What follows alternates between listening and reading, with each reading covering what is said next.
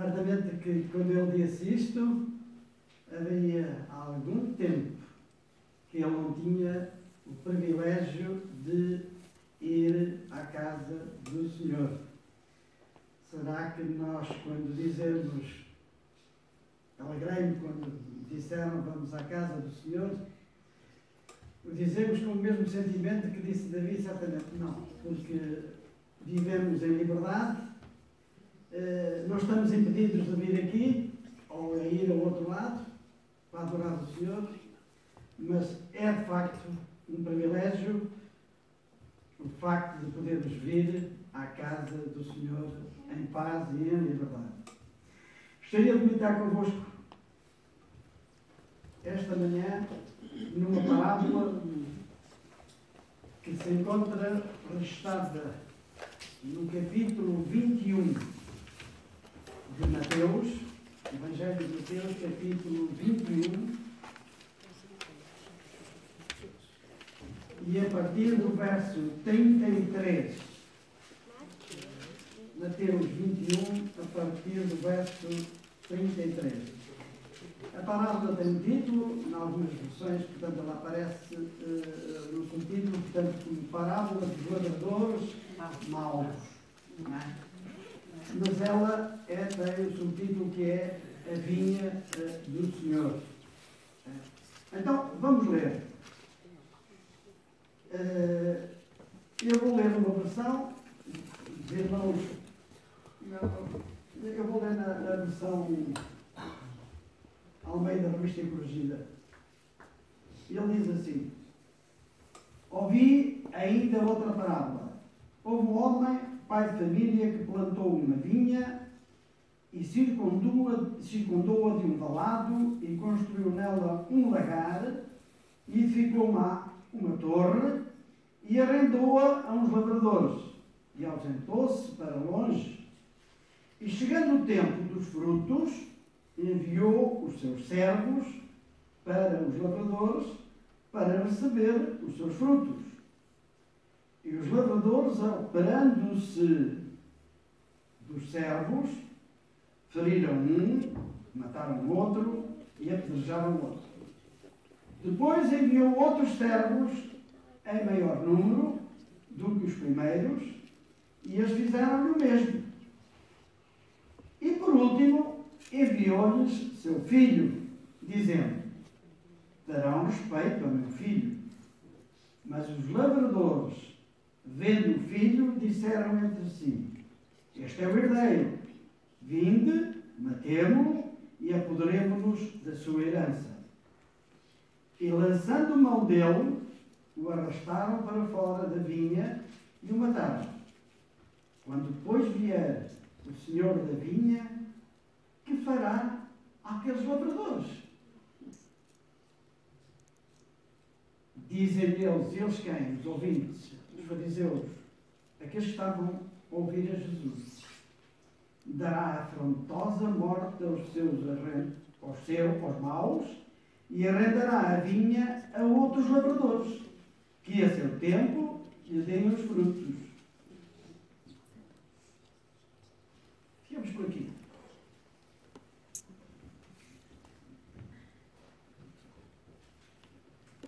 Eu não sei se somos capazes de descobrir o que é que esta mensagem.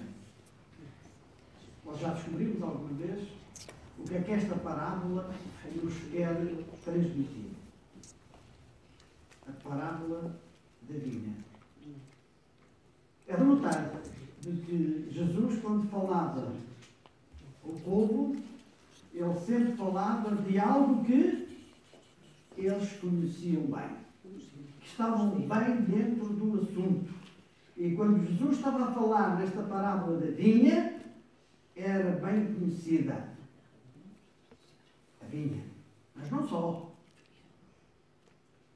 Em Isaías, no capítulo 5, é descrita já exatamente a vinha do Senhor. E o que Jesus esteve aqui a fazer foi exatamente ampliar a parábola. A parábola da vinha. Eh, nós vivemos aqui numa região agrícola também. Eu próprio também cuido da vinha. interessante da forma como nós cuidamos da vinha. O ano passado, por causa do javali, eu tive que fazer um muro. E por causa também do muro, eu plantei mais algumas videiras. E para que as videiras produzissem melhor, as mais antigas, as cabeias, cujos alguns nutrientes, e nas mais novas, não deixei de as tanto mais que o verão era bem quente. Mas não fiquei satisfeito por aí. As minhas videiras estavam um pouco baixas, não estavam todas à mesma altura, e eu lembrei-me de que o melhor era subir os arames e colocá-los exatamente ao nível da cintura. Fiz isso em todas as videiras, em todos os cordões das videiras, puxei-as acima. Tive o cuidado na poda de como é que deveria escolher as varas. Cuidado da EMPA para aqueles que costumam armar as videiras. Tive o cuidado de não deixar muita carga. Depois da vara estendida, tirei os olhos que estavam virados para baixo só ficaram os olhos virados para cima. Quando chegou o momento em que devia tirar a folha, eu tive o cuidado de tirar a folha e as uvas ficaram todas à mostra. Isto para dizer-vos o quê? Que quando nós cuidamos das coisas, e vou-vos dizer que o ano passado creio que tive lá 10 poceiros. Este ano e o ano passado, para a Vindima, andámos lá quatro pessoas, não sei quantas horas. E quero-vos dizer que este ano vindimámos 22 poceiros. Eu e a minha sobrinha, que vocês conhecem, que já fez a limpeza aqui da igreja, a Cristina, vindimámos em duas horas 22 poceiros. Tudo isto porquê? Porque houve cuidado da vinha. Aqui na parábola o Senhor fala de que plantou uma vinha, colocou essa vinha à responsabilidade de alguém e colocou dentro da vinha tudo o que era necessário para que essa vinha pudesse produzir suficientemente.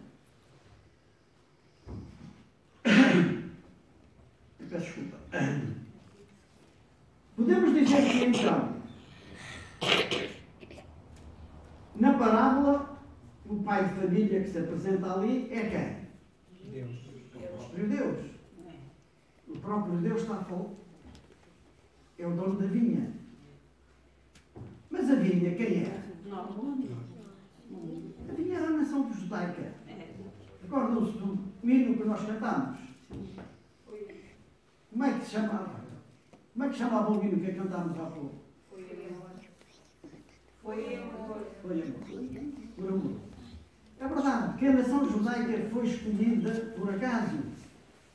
Não. Não. Por serem os melhores. Não. Não foi. Mas escolheu a nação judaica porquê? Por amor. Porque os amava. E Deus preparou tudo para que aquela nação, os seus filhos, fossem felizes e vivessem em alegria, numa alegria constante. E por isso, o proprietário, Deus, o dono da vinha, quer que ele colocou. Lembra? Colocou um valado. Eu fiz um muro, por causa do, do javali. O Senhor diz que aqui que pôs um valado na vinha. Uh, não sei se alguma vez os irmãos já visitaram aqueles castelos que serviam da residência dos reis. Não sei se também se repararam que a maior parte dos castelos a gente não pode entrar sem passar por uma paliçada, ou seja, para passar por uma ponte móvel. Entre a habitação do rei e a outra parte do exterior havia um grande valado, às vezes com 5 metros ou até mais de largura. Quer dizer que para fazerem um assalto era mais difícil, não é? Portanto, aqui o Senhor pôs também um valado para que não pudessem saltar. O que é que será, digamos, um valado? O valado ou a sebe, nas outras versões, a lei de Deus. E o que é que a lei de Deus faz exatamente para um, para um povo? Ela serve como que um valado. As pessoas às vezes dizem, Ei, não ela só, a lei de Deus é só negativa. Não, não, não, não, não matarás, não roubarás, não, não, não, não, não, não, não. A lição desta semana falávamos que se porventura Adão e Eva tivessem tomado atenção àquilo que Deus anteriormente lhes tinha dito, que nem sequer sabiam de aproximar da árvore, hoje nós não estaríamos aqui como pecadores, mas estaríamos vivendo num reino celestial. É verdade. A lei é o valado, é aquela que nos protege. Não matarás, eu estou a proteger quem? O outro. Não adulterarás, eu estou a proteger quem? A mim e o outro. É. Honra o teu pai e a tua mãe. Para fazer o quê? Uma sociedade melhor. E se falarmos, fomos para outra parte, o que é o homem sem Deus? Nada. Mas Deus colocou todos os ingredientes, fez tudo o que era necessário para que o seu povo, que foi chamado pelo seu nome, pudessem dar os seus frutos. Mas se formos para Isaías capítulo 5, eh, logo no verso 3, Deus faz uma interrogação. Joguei. Isaías 5, uh, leiam o verso 3, no verso 13 Deus diz o quê? Joguei entre mim, vejam, vejam, vejam. O que é E no verso 4 diz o Senhor o quê? Que mais podia fazer pela minha vinha? Que eu não tinha feito. Quer dizer, Deus, Deus está-se a interrogar, a, a colocar-se em julgamento, e diz, andem, julguem, vejam vocês. O que, é, que é que eu podia ter feito mais pela minha vida?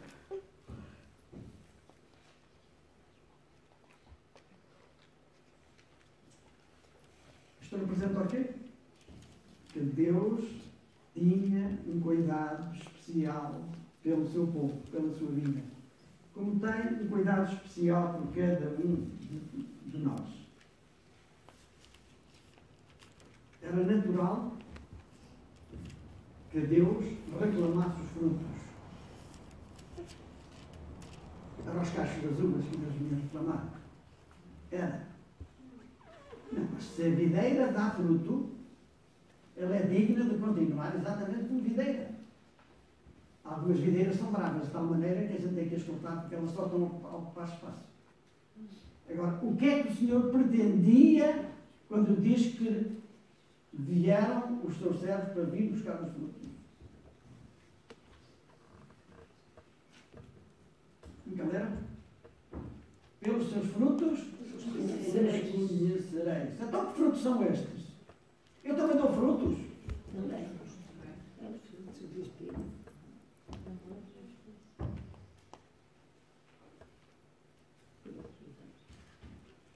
Eu também dou frutos. Só que podem ser frutos de vida para vida ou frutos de morte para morte.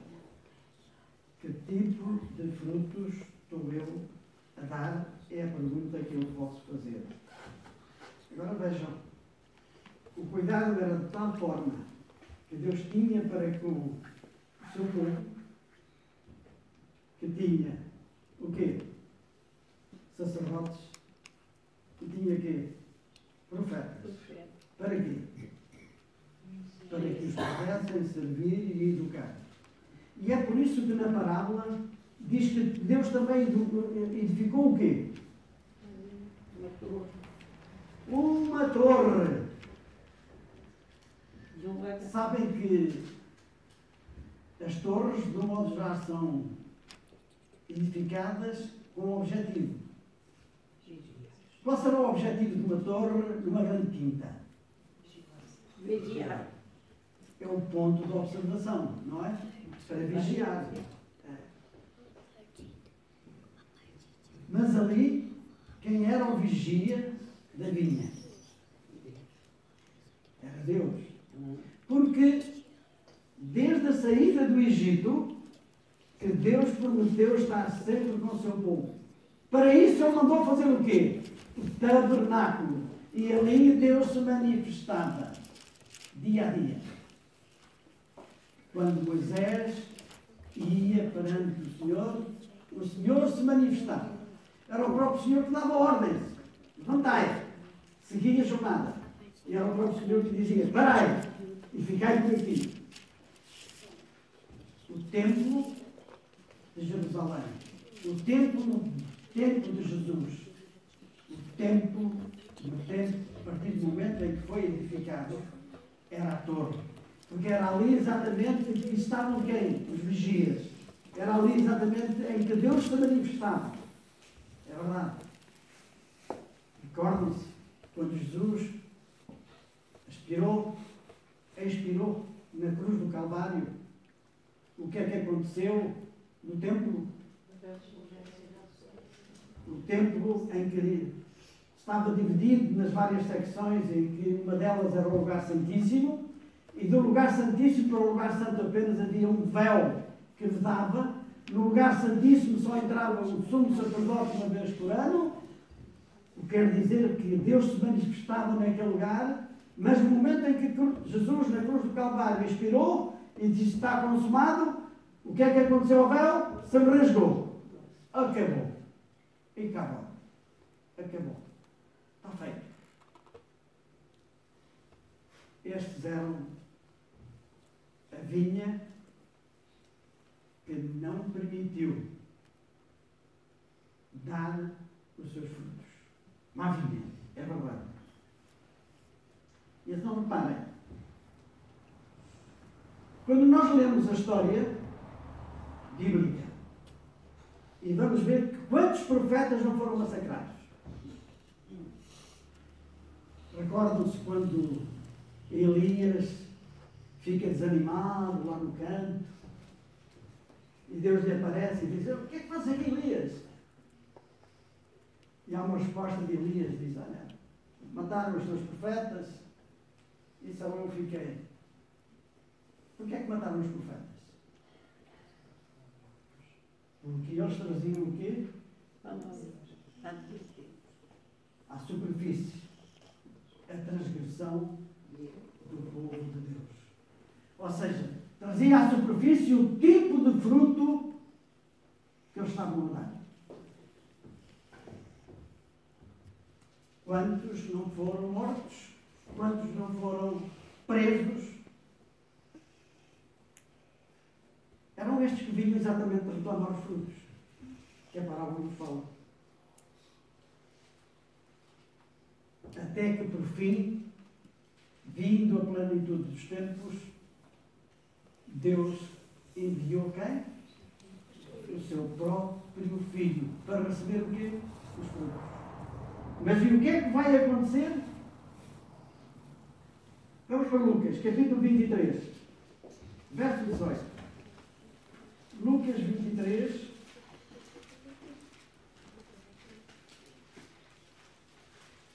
E no verso 18.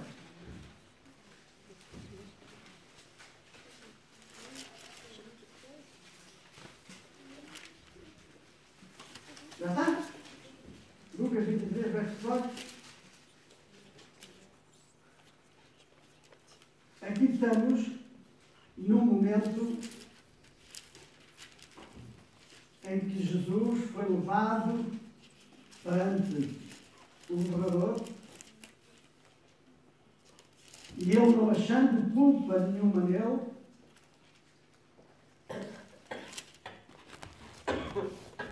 e lhes apresentou duas hipóteses para acalmar a sua ira. Uma delas era soltar quem? Barrabás. E a outra era para soltar o quê? Jesus. Qual foi a resposta? Eles disseram para soltar Barrabás, não foi? Foi? Sim. Não? Eles disseram para soltar Barrabás, foi? A Fátima não está a ler. Não foi? Então o que é que eles pediram que soltassem? Barrabás? Barrabás. Ah, muito bem. Está certo. E para condenar a quem? A Cristo. A Jesus. Repara, quem é que vinha reclamar os frutos? O filho da parábola. O que é que fizeram ao filho? O que é que diz a parábola? Não, agora vamos apoderar-nos dele. É verdade, porque Jesus foi para o povo daquele tempo, para os beirões, uma afronta. Porquê? É, é, isto é, é complicado, não é? Reparem, aquele povo, quando Jesus veio, pouco ou nada tinha de observância de um Deus de amor. Eles tinham complicado tudo. Diz que há mais, havia mais de 1500 leis alusivas, por exemplo, ao sábado. Como é que deviam observar o sábado? É, é, é inconcebível. E tornaram a religião de tal forma que era quase que impossível alguém ser observador daquela coisa. E agora Jesus veio e veio desmascarar toda aquela hipocrisia. Vinha mostrar os frutos que eles próprios deveriam ter produzido. Ficaram felizes? Não. O que é que eles gritaram? E quando Pilatos pergunta, então o que farei de Jesus? Eles gritaram o quê? Crucifica-o, crucifica-o. Mais, em no capítulo 19 de Lucas e no verso 15, nós podemos ler o quê? Quando Pilatos diz para eles: Então, mas vocês quereis que eu vos crucifique o vosso rei? Eles responderam: Só temos um rei. E esse rei é César. Tinham feito a sua escolha. É. E Pilatos continuou a perguntar: Então, o que é que farei de Jesus chamado Cristo? E a multidão crucificam, crucificam, crucificam. Portanto, a parábola termina exatamente dessa maneira. Mas Deus diz que o facto de aqueles arrendatários fazerem o que fizeram, o Senhor ia ficar sem a sua vinha? Então, o que é que o Senhor fez? Na parábola diz o quê? Que ele daria a sua vinha a outros arrendatários. Ou seja, colocaria a sua vinha nas mãos de outros. E quem eram esses outros? Quem são esses outros? Somos nós. Alberto vai dizer que somos nós. É, diz, a obra que Israel rejeitou, Deus executará por meio da sua igreja hoje na terra. Amém?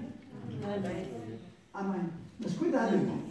Nós apenas fomos enxertados porque nós éramos homogêneos e passámos a ser também da oliveira, porque fomos enxertados. Com Cristo, nós fomos enxertados no povo de Deus. E desta forma, portanto, Deus nos diz que a igreja, portanto, de hoje, a quem Deus arrendou novamente a, sua vinha, a outros lavradores, este povo é um povo que, tal como no passado, tinha os mandamentos. Ele disse que este povo é aquele que observa os mandamentos de Deus. Em Apocalipse 14, 12 diz que diz aqui está a paciência dos santos. Aqui estão quem? Que guarda os mandamentos. Guardam os mandamentos de Deus e têm o quê? A fé. de Jesus. Agora, ficamos felizes por isso. Ficamos, tomate, ficamos, é lógico. Ficamos felizes por isso. Mas será que podemos ficar por aqui?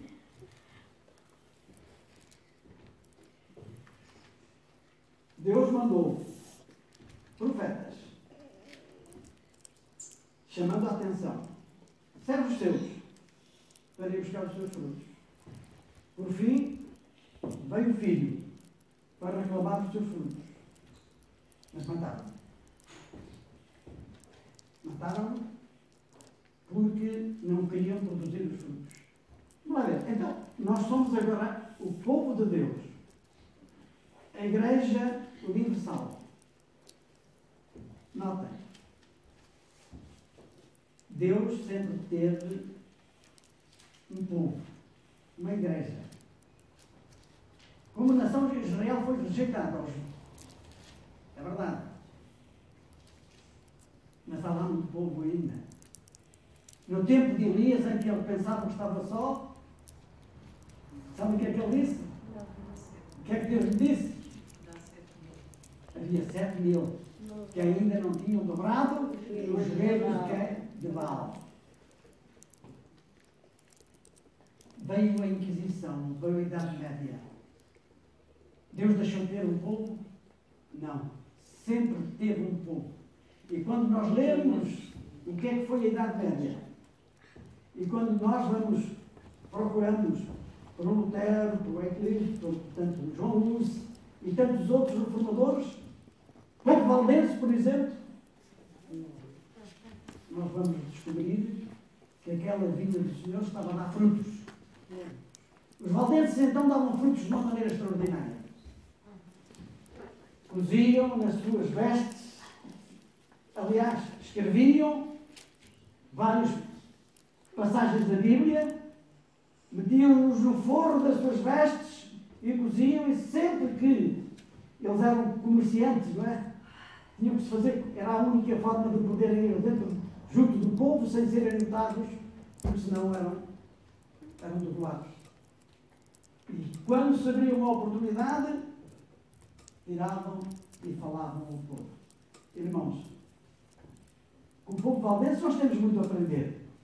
Viveram em momentos de crise, mas souberam exatamente aproveitar a crise para levar o nome, o amor do Senhor ao- aos outros povos. Esta é uma vinha ampliada, porque é uma igreja grande. Hoje mesmo, portanto, não, não somos sectários, não estamos a dizer que os adventistas são os únicos que se vão salvar. Não, porque Deus é que determina quem vai salvar-se. Deus é que é o juiz, nenhum de nós é o juiz. Mas mesmo como povo adventista no mundo, podemos agradecer a Deus porque a- Igreja Adventista está espalhada em todo o mundo e em todo o mundo há homens e mulheres sinceros, jovens, crianças, que estão dando o seu melhor, trazendo frutos para a eternidade. Agora, a pergunta que nós fazemos como igreja é que tipo de frutos estou eu a produzir? Como é que eu apresento o Evangelho às pessoas? Reparem que Jesus era acusado de quê? De que ele respeitava tudo. Curava no dia de sábado. hã? Mesmo quando vinham passar na seara e os discípulos se aproveitavam das espigas do, trigo para comer, diz que eles estavam a fazer uma ceifa.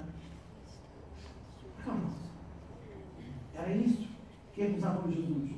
Mas Jesus veio apresentar o quê? O Evangelho do amor.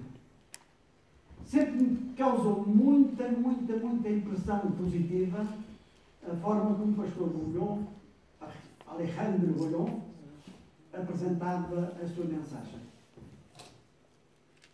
Nunca vi aquele homem falar nem de alimentação, nem de uma pregação de dez mandamentos. No entanto, podemos dizer que milhões vieram aos pés de Jesus através da sua pregação. Não quer dizer que nós não devemos falar da, da lei de Deus, da alimentação. Claro que devemos.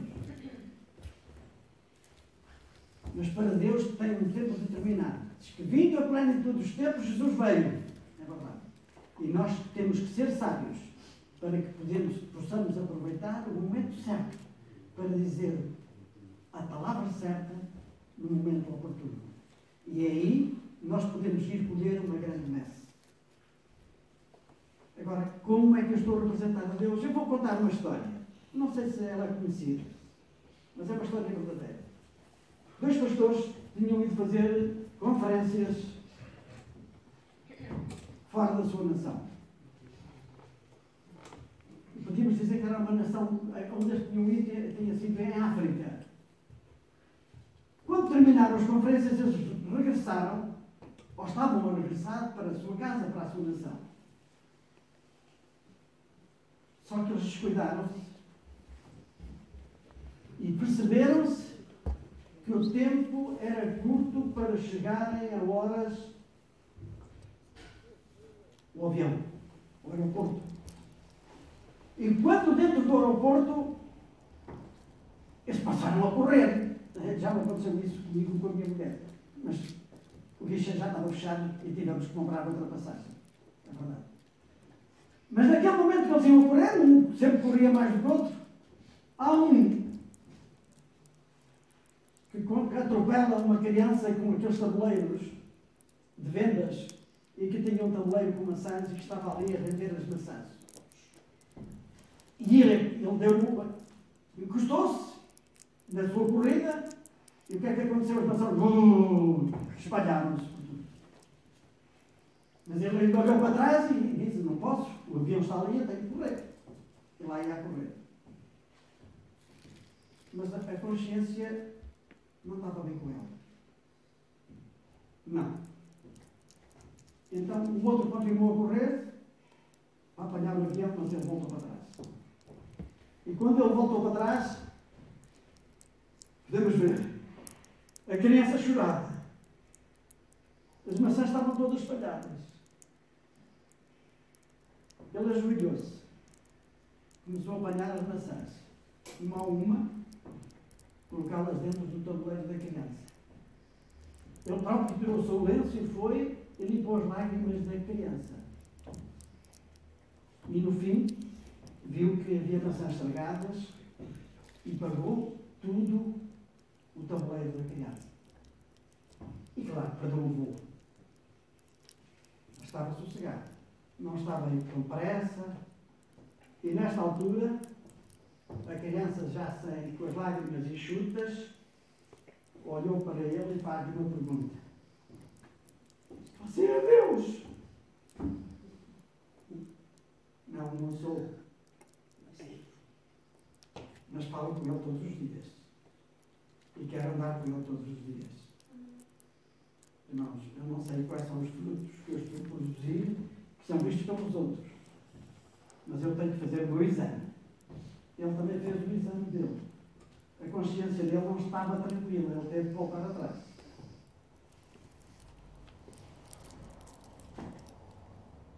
Decisão nossa. Que tipo de testemunho estou eu a dar? O que é que os outros estão a ler em mim?